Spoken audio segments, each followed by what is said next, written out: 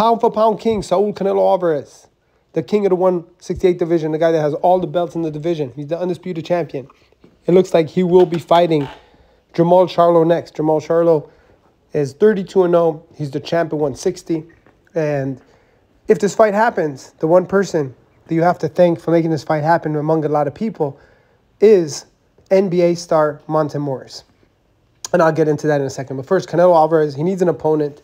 It looks like the Bivol fight won't happen for a lot of reasons. Not Bivol's fault, uh, not Canelo's fault, but the WBC would not sanction it due to the political situation with Russia and Ukraine. They didn't want to sanction Russian fighters, so therefore that fight cannot happen in September.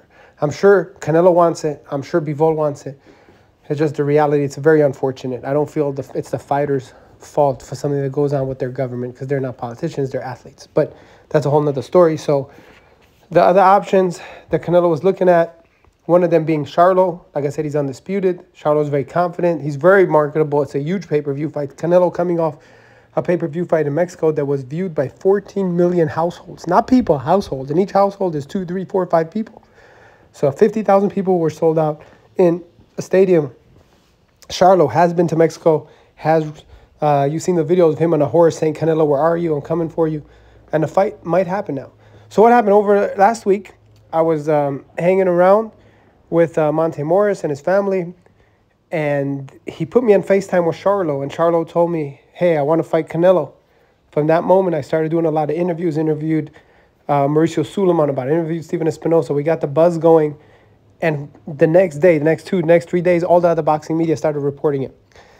So if this happens, Monte Morris got the ball rolling. Of course, Canelo and his team are the ones making the fight, and Charlo and his team are the make, ones making the fight. But the first one to start this, to uh, set the fire on this, was Monte Morris.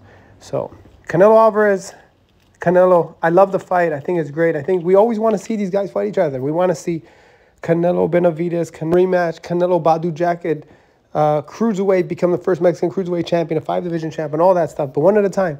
Charlo's a great opponent. Charlo needs the big opportunity. He's a great fighter. Uh, when I look at like Ring Magazine pound for pound list, and I don't see the Charlos on there, I don't see Jermell, who's the king of the 154 division. That's an insult to anybody. These reporters don't know much about boxing. It's very political. It's very biased. It's very.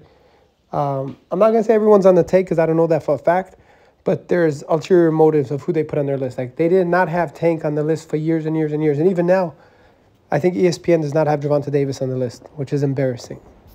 Uh, right after Canelo, the second face of boxing is is Gervonta Davis. It's Canelo, Gervonta. Maybe they're tied, or maybe it's right up there. But definitely, Tank is a massive name. That wherever he fights, he sells out.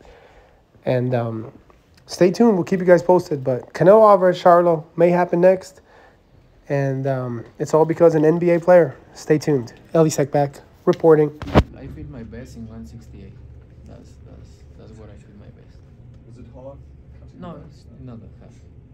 So it's, it's hard, but I can do it. So you know, with lots of willingness to get in that ring. I guess for three of you, you know, who, and we can go, you know, Saul, Eddy, and Chepo. Who else is out there that you feel can give you such a great rivalry like how Golovkin's giving you? Like, who else is out there that can give you three great fights? I don't know. That's that's hard to, to say because you never know. Um, maybe you think uh, one fighter is not right. Eddie, uh, can, can. so much for coming. Thank you. And accommodating your time too. So